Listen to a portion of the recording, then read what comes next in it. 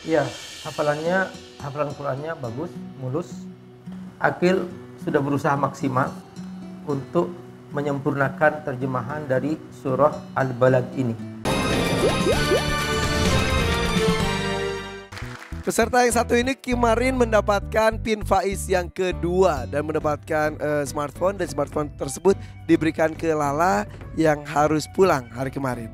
Langsung saja yuk kita sambut ini dia Akil. Waalaikumsalam warahmatullahi wabarakatuh. Akil. Akil ini usia 11 tahun dari Bengkalis, hafalan 7 juz Al-Quran. Akil sudah tahu apa yang harus lakukan ya. Untuk Akil, apakah kamu sudah siap? Insya Allah siap. Insya Allah, Akil sudah siap.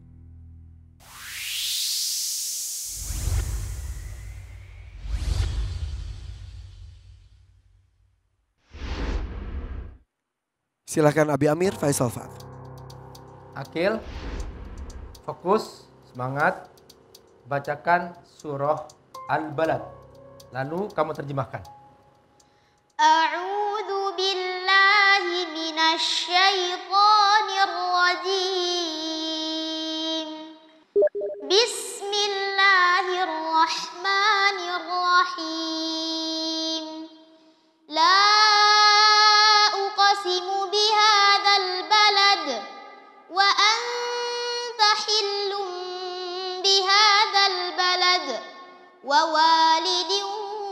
wa ma walad. لقد خلقنا الإنسان في كبد.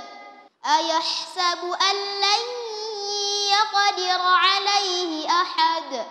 يقول أهلكت مالا لبدا. أيحسب أن لم يره أحد؟ ألم نجعل له عينين؟ وشفتين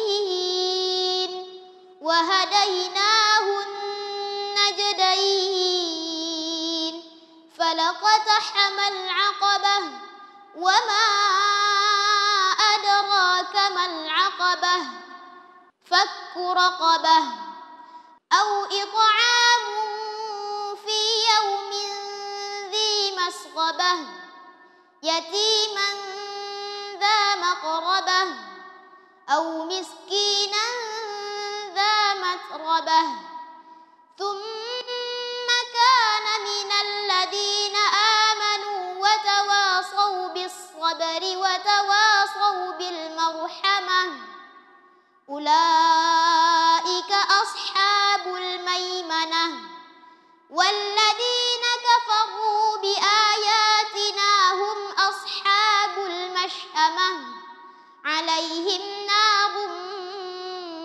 مؤصدة صدق الله العظيم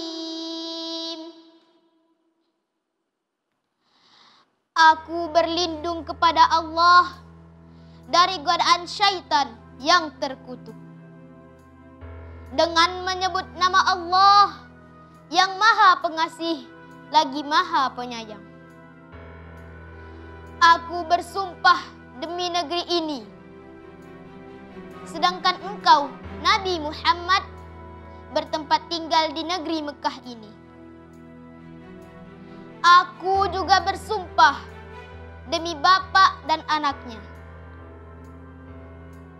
Sungguh, kami benar-benar telah menciptakan manusia dengan keadaan susah payah. Apakah dia manusia itu yang mengira bahwa tidak ada seorang pun yang berkuasa atasnya? Dia berkata, "Aku telah menghabiskan harta yang banyak." Apakah ia mengira bahwa tidak ada seorang pun yang melihatnya?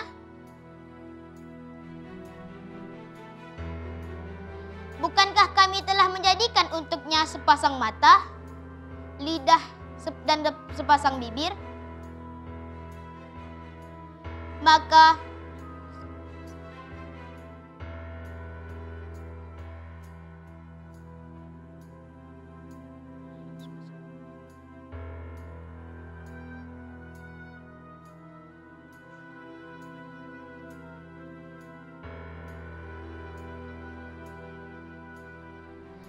serta kami juga telah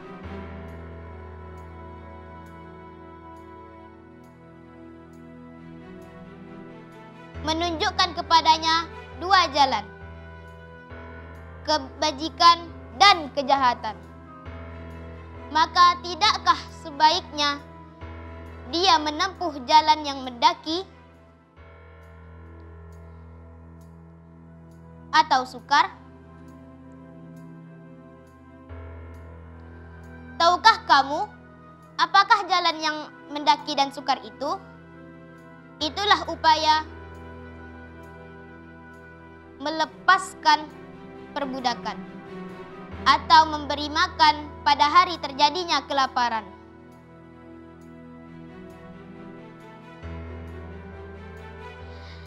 Kepada anak-anak yatim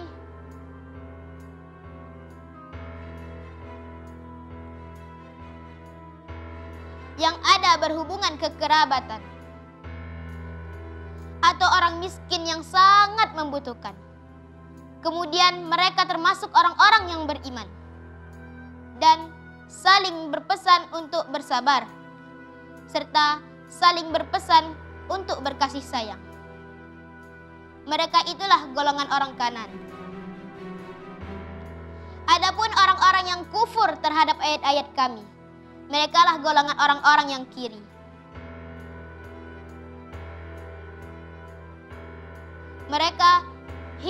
Dalam neraka yang tertutup rapat. Maha benar Allah dengan segala firman-Nya. Allahumma rahmna bil Quran. Akil Bengkalis. Boleh tepuk tangan dan semangat untuk Akil Bengkalis. Kenapa Akil? Beberapa kali tersendat. Tapi bagaimana dengan terjemahannya silakan Abi Amir. Iya, hafalannya, hafalan Qurannya bagus, mulus.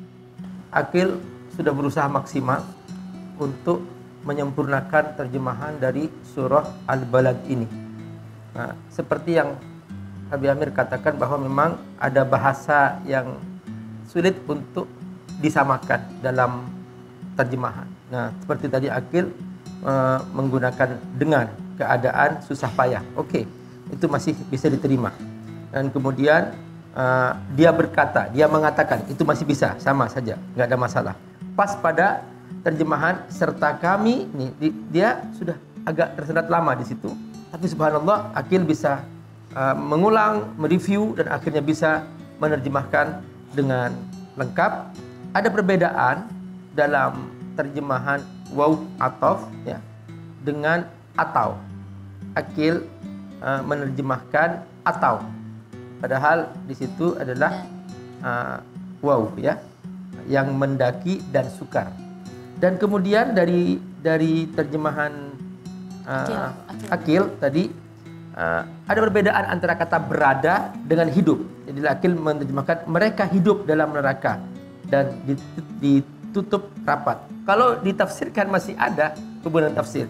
Tapi dalam yang yang para ulama tafsir para ulama terjemah memilih kata berada dalam neraka yang ditutup. Agak mirip sih ya. Masih bisa diterima. Semoga Allah mudahkan ya terima kasih Abi Amir Faisal memang kalau alih bahasa itu tidak bisa spesifik sama persis ya tapi minimal mendekati mungkin ya. Itulah kesulitannya juga. Silakan karena bila bagaimana bacaan akil hari ini? Baik, Bismillahirrahmanirrahim. Untuk bacaan akil hari ini uh, bagus dan baik. Uh, tadi cuma uh, gunnah ahsabu an yaqdira. Jangan langsung merapatkan giginya ya. Alain enggak kasih waktu khusus untuk apa? Untuk memperjelaskan suara gunnah. Terus uh, harf dal yaqulu ahlaktu malan lubada. Gak da, gak lubada, dia lubada. Da, bukan da ya beda suaranya da terlalu da itu terlalu apa ya terlalu kencang gitu. Da ketika melafalkan eh, au it'am fi yaumin dhi masghabah gha harful ghain ditebalkan dan perjelaskan suaranya. Gha masghabah ya tadi hilang sedikit suaranya. Yang saya yang Kak Nabila suka di penampilan terjemahannya adalah intonasinya. Jadi jelas ini adalah pertanyaan ini adalah uh, ini sampai dia menggambarkan eh, tadi sangat membutuhkan katanya. Itu itu menggambarkan sekali bahwa oh bukan hanya sangat membutuhkan tapi sangat membutuhkan. Jadi intonasi suaranya eh, Akil ketika membaca terjemah itu sangat eh, mewakili sekali. Jadi luar biasa Akil hari ini. Terima kasih Kak Nabil Abdul Rahim. Masih mengenai bacaan Akil, silakan. Saya Husain Jaber. Ya, bismillahi masya Allah, tabarakallah. Bacaan yang luar biasa, seperti kebiasaan Akil. Suara bagus, iramanya indah, cuman sedikit yang baru distabilkan, masalah huruf yang sukun, ya kadang-kadang jelas, kadang-kadang tidak, ya. Jadi eh, misal, Ulaika ashabul maimana, jelas di sini. Begitu ayat berikutnya, hum ashabu, hilang lagi sad yang jelas. Jadi perlu distabilkan, masalah huruf yang sukun harus dijelaskan. Ya, terima kasih. Saya Husain Jaber. Udah Akil, sudah selesai. Ucapkan salam. Assalamualaikum. Waalaikumsalam warahmatullahi wabarakatuh. Terima kasih Akil. Mau tepuk tangan dong untuk Akil.